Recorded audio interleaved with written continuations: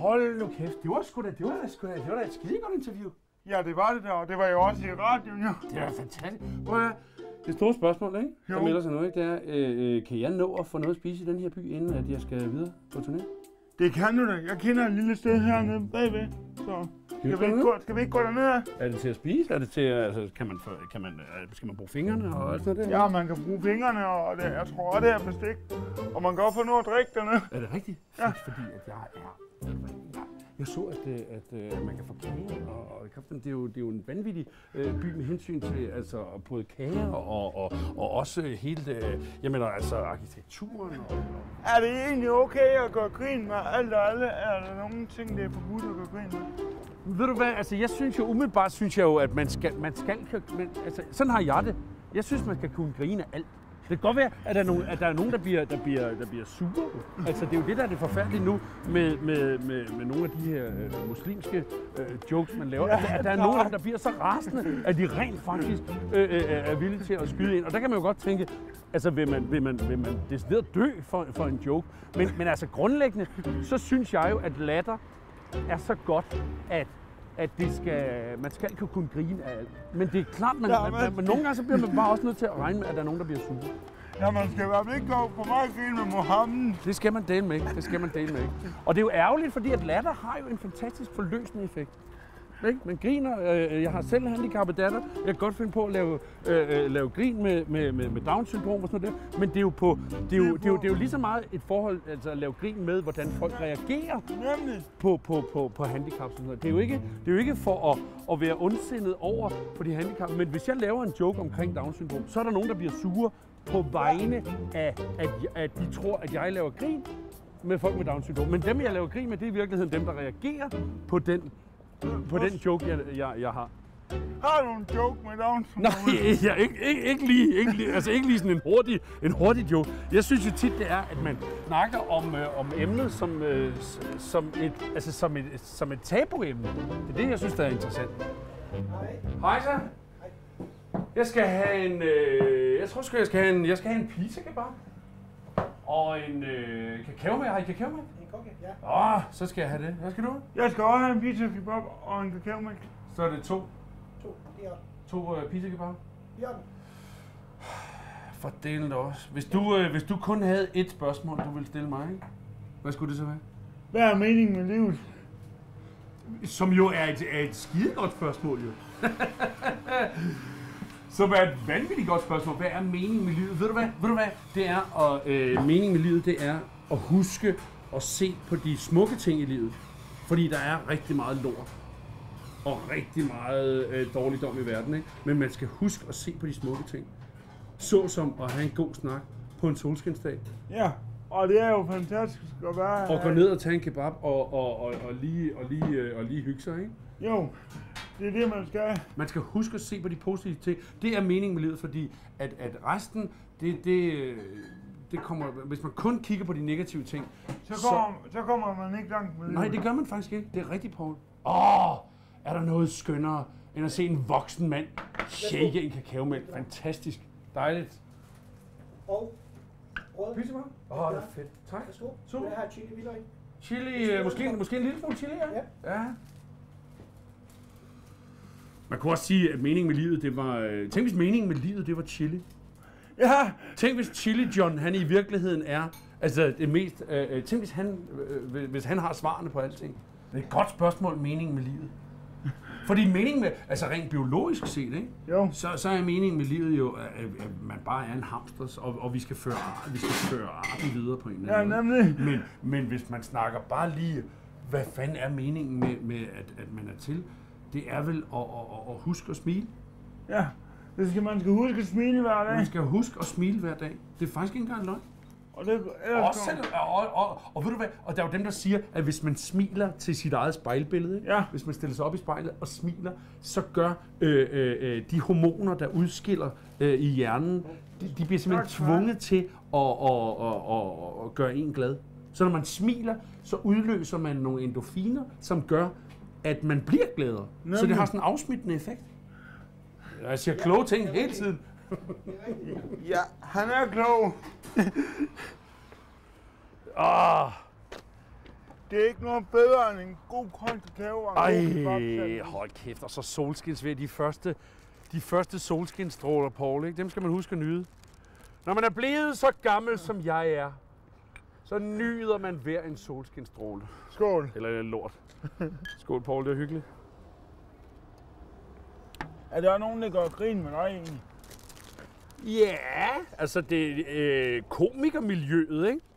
Og det siger, vi er blevet bedre til det, men det kan godt være sådan lidt hard. Altså man kan godt lide sådan at drille hinanden. Man kan godt, altså nogle gange så er det også sådan, at det er bare... Det er utrolig sjovt at se andre komikere lave noget dårligt. På en eller anden måde. Altså jeg ved ikke, hvorfor det er sådan, men man griner virkelig meget af, af, af, af sine kolleger. Men der er også, der er også gode øh, kolleger, man husker også at rose hinanden. Men så skal man altså... Jeg ved jo godt, at det er jo ikke alle, der kan lide mig, ikke? Altså, der er jo nogen, der, der ikke kan udstå synet af mig. Ikke? Og, og, og sådan må det være, når man stiller sig frem, og, og, og det ved du også selv. Ikke? Når man siger nogle ting, og man er i radioen, og man er i fjernsyn, hvis man siger nogle ting, som kommer til at lyde lidt fjollet og sådan noget der, så må man altså også risikere, at der er nogen, der synes, at, at man er et fjols. Netop. Men sådan er det. Men det er der, altså, jeg synes ikke, jeg sådan oplever, og øh, jeg, blev, jeg blev mobbet lidt, da jeg, gik i, øh, da jeg gik i skolen, fordi min mor, hun underviste på den samme skole, som jeg gik på. Hvorfor blev du egentlig mobbet? Jamen sådan, at, øh, at de synes, at, øh, at min mor, hun var et fjols, og hvorfor fanden, og bla bla bla. Så, så jeg blev drillet med, at, at min mor var lærer på den samme skole, som, som, som jeg selv gik på. Og så, du ved, så bliver man bare, ikke mobbet mobbet, men, men øh, du ved, man får nogle øh, hårde kommentarer. Du ved selv, hvordan børn, de, børn, de er hårde ved hinanden. Ja, det ved jeg. Det ved du nemlig. Dem børn, de er nogle slyngler. De er, de er hårde ved hinanden. Men jeg synes ikke... øh, Jeg synes sgu generelt siger folk nogle meget positive ting om mig, men, men jeg har også vendt mig til at være ligeglad med, hvis folk de... Det skal man huske nogle gange at være ligeglad med. Om folk, de, hvis folk de siger noget dumt om en og sådan noget der, så bare lad det gå ind af det ene øre og ud af det andet øre. Nu, du, nu får du jo mange store spørgsmål til dit show. Mm. Men hvis du har nogle spørgsmål, så kan du bare fyre dem af til mig. Når hvis jeg har nogle spørgsmål, Ja, altså om livet sådan generelt, ja. Hvad fanden vil du? Det samme, hvis jeg stillede dig det samme spørgsmål, som, som, som du lige stillede mig. Hvis jeg kun havde et spørgsmål til dig, så kunne man vælge to ting. Man kunne vælge at sige den, den fjollede. Hvor mange, hvor, ma- hvor mange kebaber kan man nå at spise på et år? Eller på et liv? Det ved jeg så ikke. Nej, det er det. Eller, eller man kunne stille det samme spørgsmål. Hvad, er, hvad, øh, hvad gør dig glad, Paul? Det gør min arbejdsplads. Din arbejdsplads gør dig glad? Ja. ja? Er der noget specielt ved, arbejdsplads, ved, ved, ved det arbejde, du laver, som gør dig glad? Både ved radio og tv. Hvad, hvad, hvad gør dig glad? At jeg har de nogle gode kollegaer. Og, Mm. Mm. Og jeg er i selskab med dig i dag. Mm. Hvor, hvorfor er det gode kollegaer? Fordi man kan jo sammen med dem. Altså, I svinger godt sammen. Ja, Men laver I ikke grin med hinanden nogle gange? Når I møder ind om morgenen der, laver I ikke nogen jokes med hinanden? jo, det kan vi også godt, men Hvad? Siger til, siger til fotografen, fordel også. Dine lår minder mig om, at det er mig, der skal købe juleand i år, eller sådan noget der. Må man, må man sige det? Må man sige det på TV Glad? ja, det tror jeg godt. Må man godt lave lidt jokes med hinanden? Ja, Det synes jeg jo. Og, og, og, og, og jeg siger jo det her godt. Jeg, jeg synes jo, man skal huske at lave nogle jokes med hinanden en gang imellem. Og, så skal man, og hvis man så kan mærke, at der er nogen, der bliver sure over det, så skal man selvfølgelig sige undskyld. selvfølgelig. Det, det var sgu ikke med vilje. Altså, det var jo ikke med, det er ikke med vilje. Det var ikke meningen, at du, at, øh, du skulle blive ked af det jo. Nej, Så der må du lige hjælpe mig med lige at, at sige, hvor, hvor, hvor går grænsen og sådan noget der. Ikke? netop. Men husk at blive ved med at lave nogle...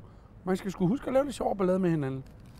Der kan du egentlig bedst lide kvinder eller flot naturlandskab. Det, var da, det er eddermame med et godt spørgsmål. Det, og det er et stort spørgsmål. Det er et skidestort spørgsmål. Kvinder eller flot natur? Altså, jeg ville jo være en kæmpe idiot, hvis jeg sagde flot natur. Fordi jeg må indrømme, altså jeg kan stadigvæk godt være, altså jeg synes, at kvinder er den smukkeste skabning overhovedet. Pandaer er også flotte, men kvinder er, altså jeg kan virkelig, virkelig godt lide at kigge på kvinder.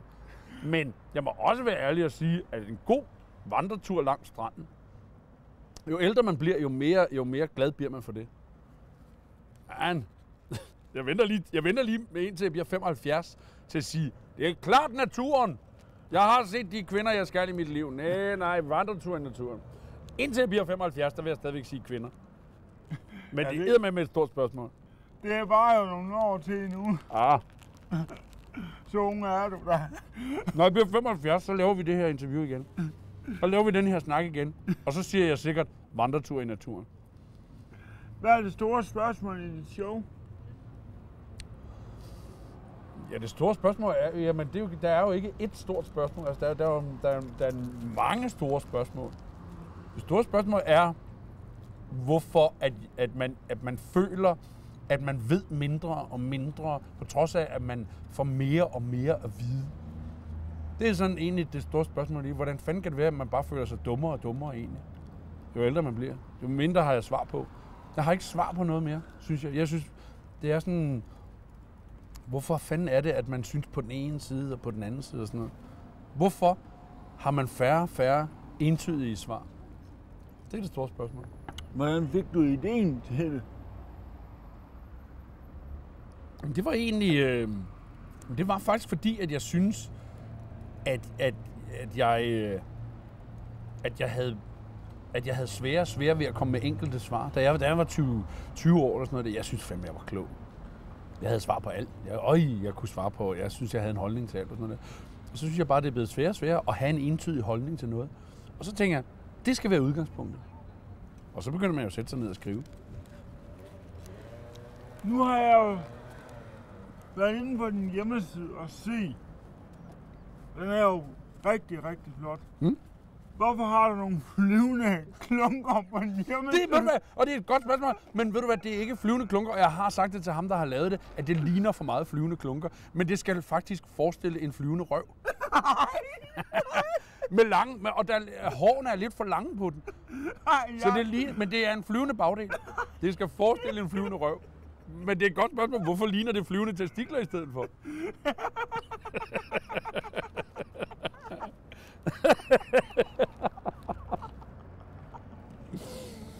Det er et skide godt spørgsmål. Hold kæft, hvor godt.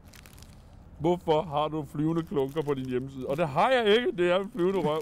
I'll kill the graphic guy. Hvis du var en kvinde for en dag, hvad ville du så gøre?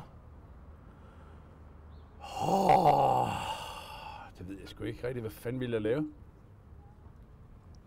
Jeg ville jeg købe, så ville jeg tømme lavkagehuset, og så ville jeg bare pløje mig igennem det hele.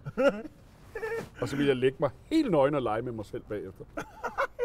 Fordi det, ville, det har jeg aldrig prøvet før. Men jeg tror, jeg ville gå amok med, med de der, med, når nu lavkagehuset er her i byen. Jeg tror, jeg ville gå amok.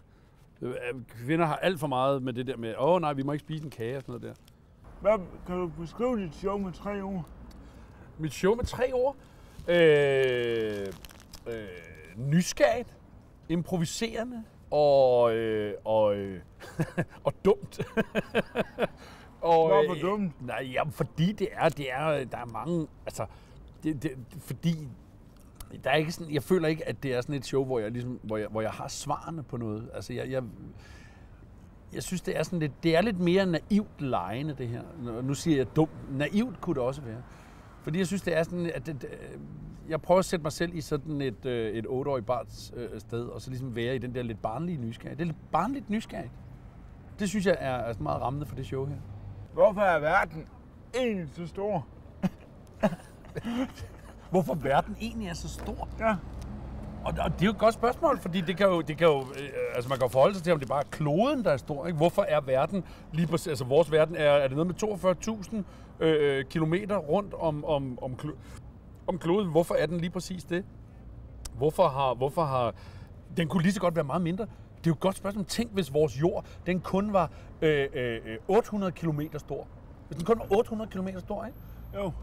så der fra Åben Rå til New York kun var, kun var øh, øh, øh, 300 km. Ikke? Så er det ligesom at være kørt, at køre, køre til Skagen fra Åben Rå. Det er jo et godt spørgsmål. Ikke? Jo, Hvorfor er den så stor? Eller hvorfor føles den så stor? Ikke? ja.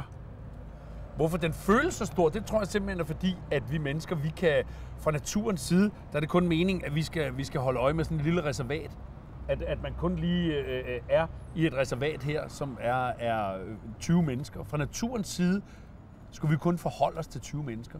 Ude i en jungle, eller på en mark, eller som øh, øh, stensamler, eller sådan noget der.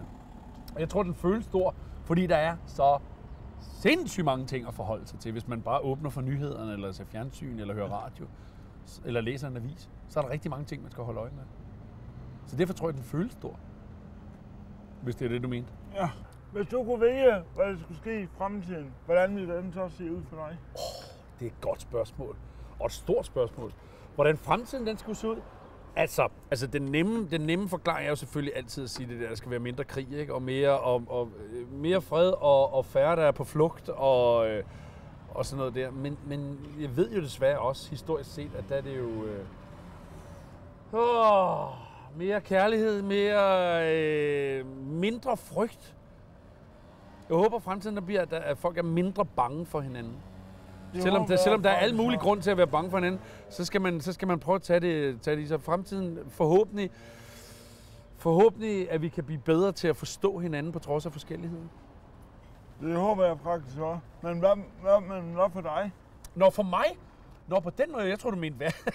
Jamen, jeg har også det der verden, jeg synes også, Nå, bare for mig? Jamen, jeg, jeg, øh, jeg håber, at, at jeg får lov til at lave mere af det, jeg laver. Altså mere, mere øh, Stand-up. stand-up, mere sjov ballade, mere fjernsyn, mere nogle nye ting, nogle rejseprogrammer. Øh, være, god, øh, være en god far for mine børn. Og, og det, det er sådan noget, jeg håber for, at, at jeg, øh, jeg kan leve op til mine egne idealer.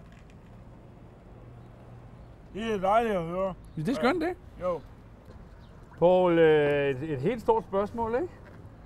Øh, Det er jo, øh, hvem skal betale for det her? Hej Poul.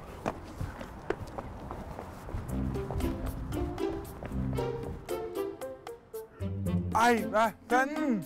Den tager du, Christian.